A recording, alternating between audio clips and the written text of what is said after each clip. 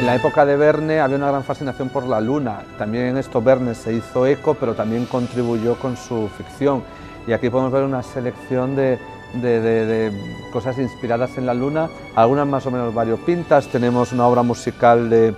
de, Offenbach, por ejemplo, El viaje a la luna, que aunque no reconozca la autoría de Verne, está muy inspirado en su libro pero tenemos atracciones de circo, tenemos carteles de, conciertos musicales, eh, tenemos la, Gran Lunette, que era la gran atracción de la exposición de París de 1900, que era un telescopio enorme que permitía ver la luna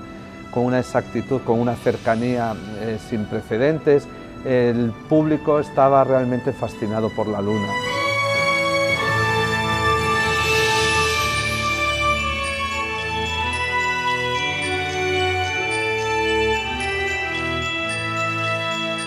Ya cuando Julio Verne iba sacando las entregas del libro,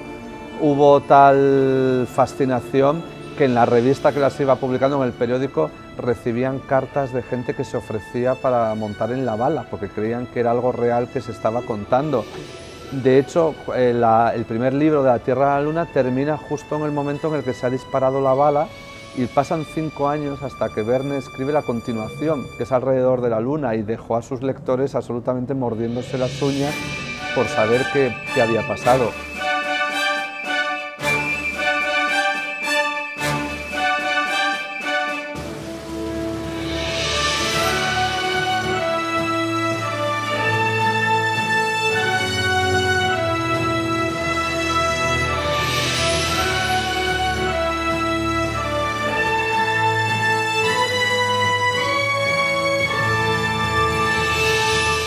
Extraño que, una de las obras pioneras del cine sea Méliès con su eh, viaje a la luna, pero también Segundo de Chomón, un, pionero español del cine mudo de, tanto nivel como, como Méliès, también hiciese su particular viaje a la luna.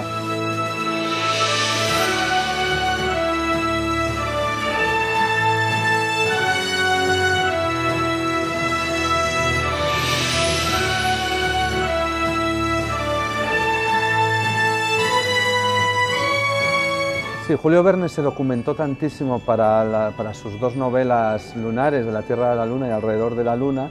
que tiene, llegó a una exactitud realmente asombrosa, eh, con los cálculos de la velocidad necesaria para, para escapar de la gravedad terrestre, se dio cuenta de que la bala, en su caso, mm, eh, tenía que ser disparada lo más cerca posible del Ecuador y lo situó en Florida, en un lugar muy cercano a donde se construiría Cabo Cañaveral y de donde saldrían los cohetes, eh, los cohetes Apolo a la Luna. Pero es que las similitudes son, son muy asombrosas. El tiempo que tarda la bala de Julio Verne en llegar a la Luna es prácticamente el mismo tiempo que tardó el Apolo 11, bueno, todos los Apolos en llegar. La bala, y esto ya sí que entra en el terreno de la casualidad, tiene exactamente la misma altura que tenía el módulo lunar del Apolo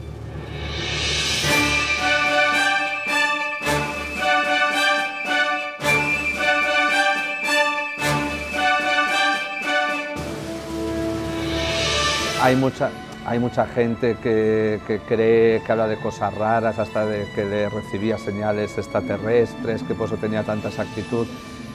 Pero cuando uno analiza sus novelas, se encuentra que todo tiene una explicación perfectamente racional y científica eh, para que él hiciera esas, esas, afirmaciones. Y además, incluso en el caso del viaje a la Luna, Sabemos que fueron hechos por un familiar suyo que era matemático, que era quien Verne encargaba todos, todos los cálculos.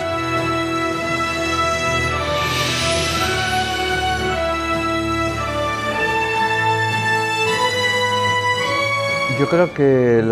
Verne sigue siendo tremendamente eh, fascinante para, en nuestra época, porque cuando volvemos a su obra redescubrimos algo que creo que hemos perdido en, nuestro, en nuestra época, pero que añoramos, que es esa fe, esa profunda fe en que el ser humano con las herramientas de la ciencia, de la tecnología, con el progreso, eh, sería capaz de, abordar cualquier reto, cualquier desafío que se, le, que se le presente. Yo creo que por eso nos gusta volver a Julio Verne, nos gusta redescubrir ese espíritu, redescubrir esa, esa fe.